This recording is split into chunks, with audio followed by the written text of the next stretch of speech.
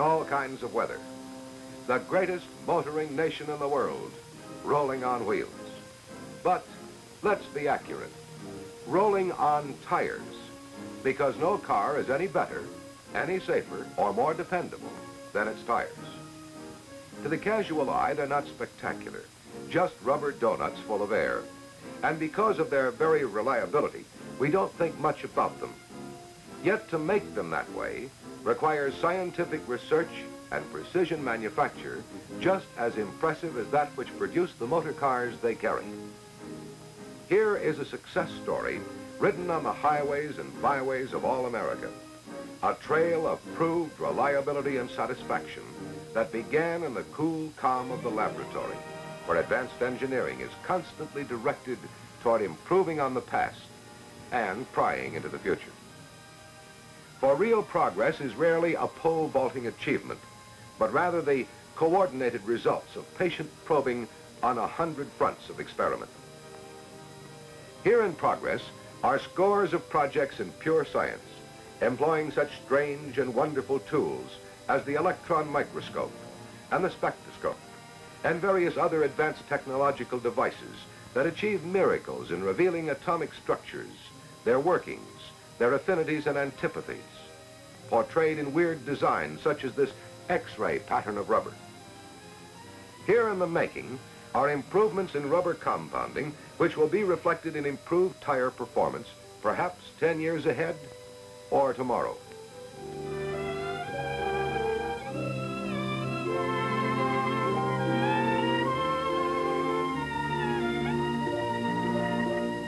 But this is certain. No proved betterment will be held back to make next year's advertising headline, and none will be prematurely released to meet a new model deadline. What is the cord fabric of the future? Well, no one can say exactly, but it's in progress here someplace. For here in development are countless projects in cotton, rayon, nylon, yes, even experiments with cord made of spun glass and steel. And believe it or not, feathers. Fantastic? Well, perhaps. But if a hundred avenues of research produce one genuine improvement, that's an accomplishment well worthwhile. Similarly, in tread design, it would be simple to change merely to be different. But real betterments come up the hard way. So a dozen, a score of experimental designs may be worked up before one proves itself worthy of the road. How well does a certain experimental design resist side thrust, as in cornering or battling crosswind? These questions and many more are explored and compared in the laboratory with scientific exactness. But for the acid test, there's nothing to compare with driving over a smooth concrete floor liberally coated with soapstone and water. A blanket of soap suds, more slippery than the bottom of any bathtub. Just keep your eye on the car and see a miracle.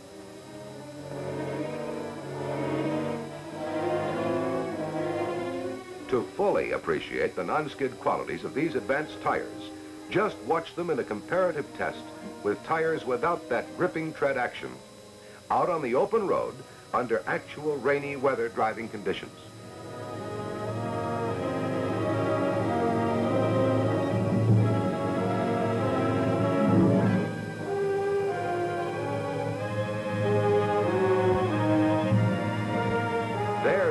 Performance that speaks louder than the cleverest headline ever written.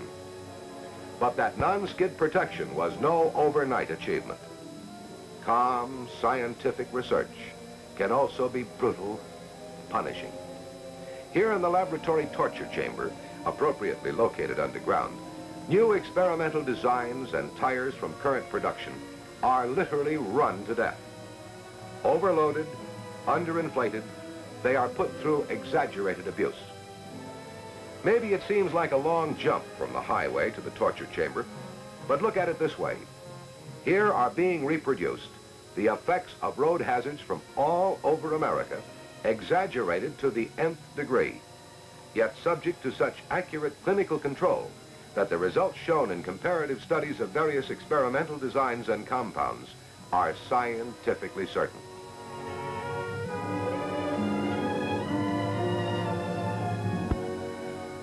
All tires under test are treated exactly alike and far more brutally than any tire in ordinary owner service.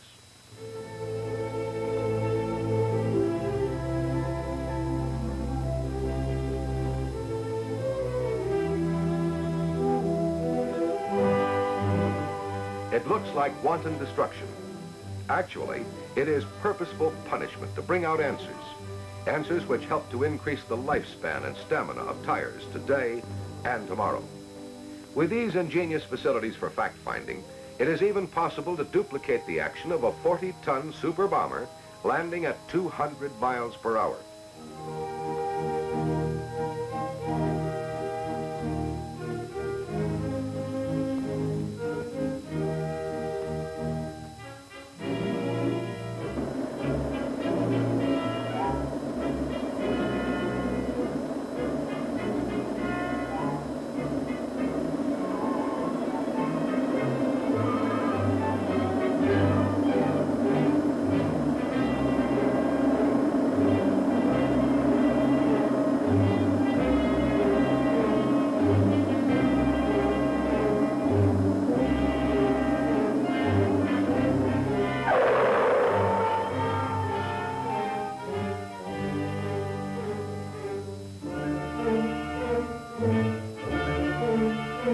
Course, it's a far cry from a super bomber to the average family car. But the know-how gained in these critical studies of rubber and fabric will pay dividends to all motordom in finer, safer road performance at all speeds. Thus, the never-ending search for better ways goes on, with all America as a test laboratory. All kinds of roads in every climate, at every driving speed, duplicating the conditions and the driving characteristics of Mr. and Mrs. Motorist wherever they may live. Allied in this research are the proving grounds of motor makers, for well they know that no car can be better than its tires. And behind today's standard of tire performance lies the close collaboration with automotive engineers since the very infancy of the motor industry. These are the most valuable tires in the world. They're tires from the torture chamber, from the test cars, and from the proving grounds. They're the martyrs of progress, revealing new avenues to improvement in design and in manufacture. In this newest and most modern of tire plants, advanced facilities give new precision, new meaning to the craftsmanship of tire building. For tire engineering does not end with development. It continues through every phase of production in the form of rigorous quality control. Here, a master batch is in the making, the various elements being measured for compounding. It's a big volume operation, yet the various ingredients are automatically weighed with an exactness reminiscent of laboratory practice. Down in the mixers, rubber stocks and chemicals are blended in accordance with strict standards of procedure.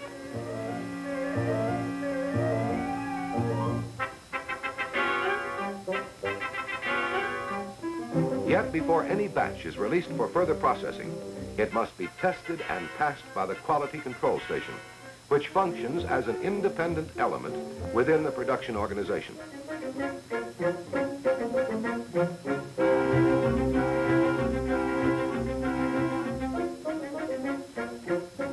And this critical system of checks and balances is apparent throughout the entire manufacturing system.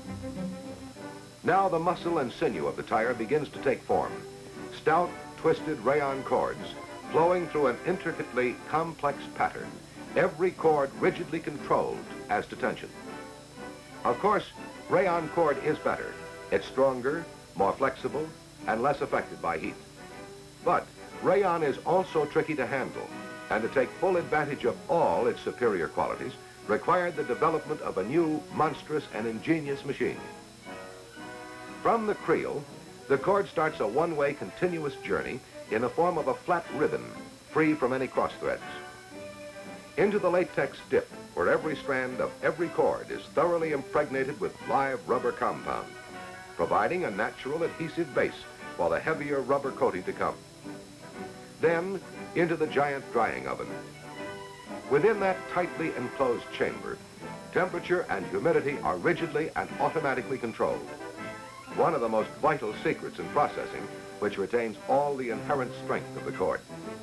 Emerging, the cord is drawn in festoons and finally through a tension adjusting control and a precise spacing bar which exactly positions the individual cords.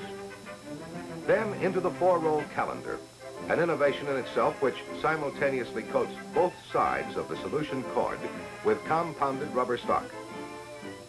Volumes might be written about the advantages of progressive fabrication symbolized in this straight line process, which requires less than four minutes, but it all adds up to the single goal of controlled uniformity. Another machine with almost human intelligence is the so-called dual tuber. Here, the base stock and the sidewall stock is especially compounded to withstand flexing. Then the machine is smart enough to lay a tough, long-wearing tread stock exactly centered between the sidewalls. These emerge as a single strip, precisely formed and measured. Here, as everywhere, uniformity is paramount. From the tuber, the stock goes through a cooling bath which gradually reduces the temperature over a 200-foot cooling process.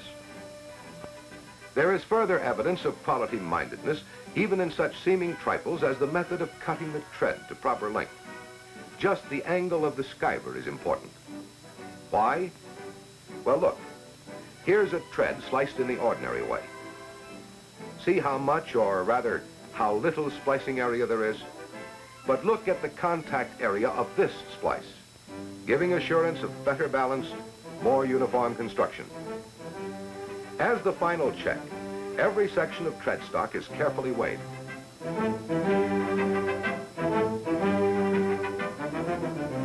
Wire for beads is first given a bonding coat of rubber, formed into coils the exact size required, then wrapped with fabric of special adhesive properties. They call this the flipper strip. Actually, it ties the bead securely into the tire carcass. In the critical job of ply cutting, modern electronic science comes to the aid of expert fingers. An electric eye speeds up production and also doubles the accuracy of the work. Tires for the biggest and heaviest of passenger cars are built on these semi-automatic machines. It is in the production of these tires with relatively small rim size and large air volume that perfect balance and uniformity are of paramount importance.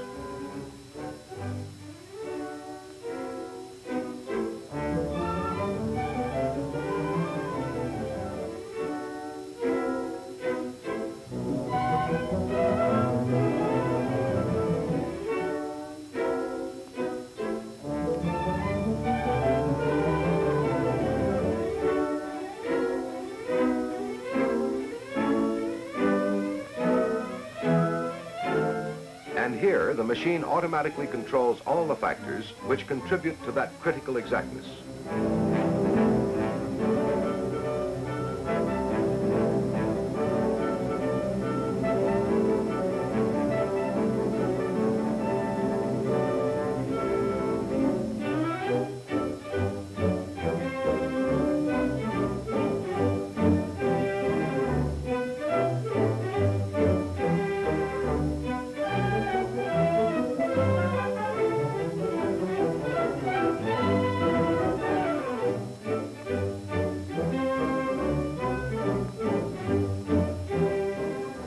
Cord ply is precisely positioned and laid on snugly, yet free from tension.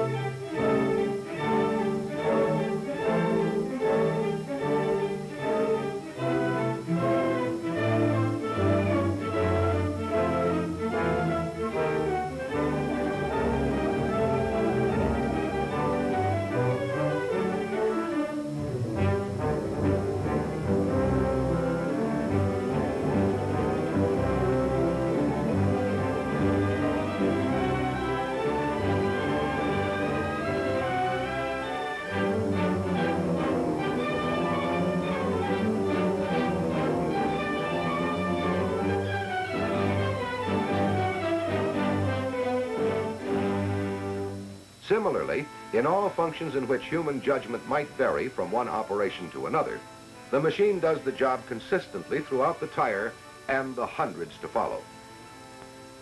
Crossroads of production of the popular-sized tires is the merry-go-round. At first, it looks like a frenzy of confusion. But look closer. Observe how advanced technology has sharpened and simplified tire building through the delivery and precise positioning of materials.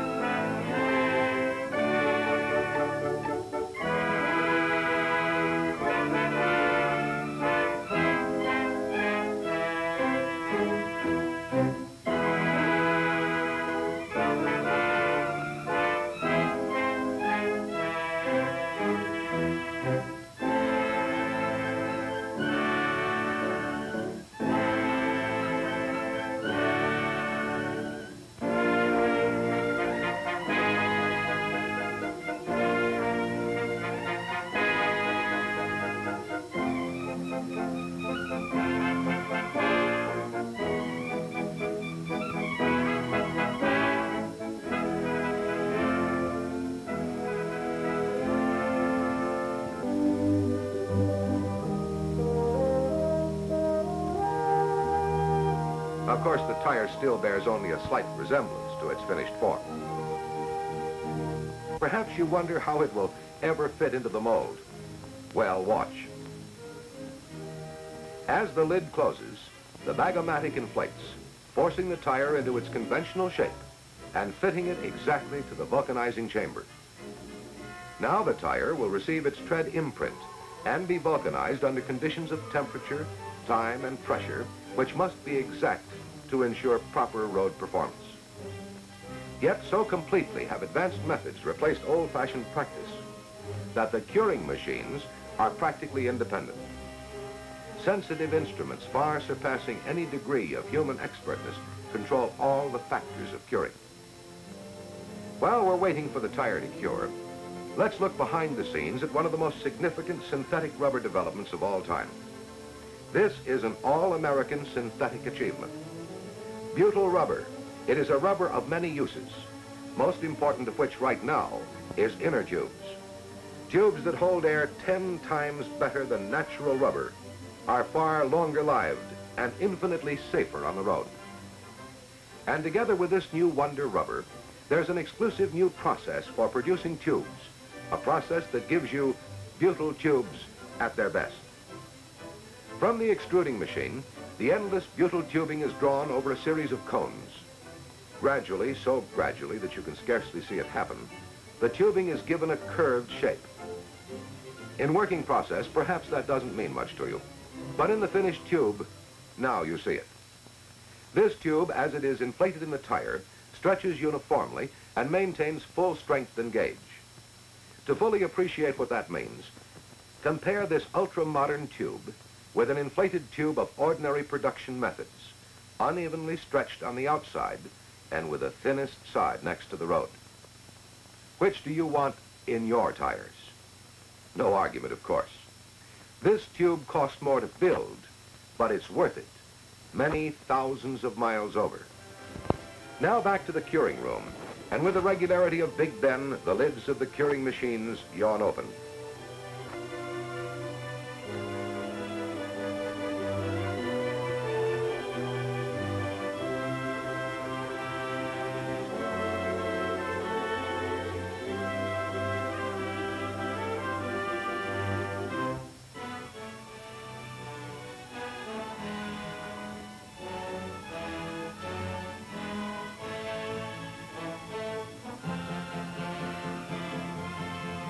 And there's our tire, looking like a tire ought to look, engraved with a tread distinguished all over America.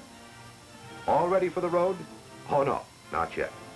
Again, it must face the critical inspectors, one for tread, one for sidewalls, and one for inner carcass. You'd never guess it, but in those few practiced motions, the inspector's talented fingers and trained eyes cover more than 40 points. Finally, the tire is balanced and marked for the valve stem positioning. And then, here it is, ready for the big parade. The tires of proved improvement, built better in the plant to give better performance on the road. Engineered for satisfaction always and in all ways.